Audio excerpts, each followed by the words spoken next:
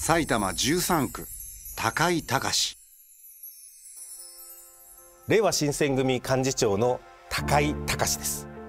総務省で働いていた私が政治家を志したのは政治と金の問題によって政策が歪められていく現場を目の当たりにしたからです。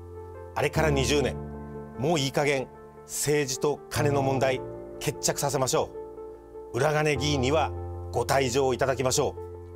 私には実績があります。3期10年衆議院議員を務める間119本の法案を作り国会質疑に立った回数は223回。質疑時間は全衆議院議員465名中トップにもなりました。裏金議員に代わって即戦力として地元のためにも働きます。何があっても心配するな。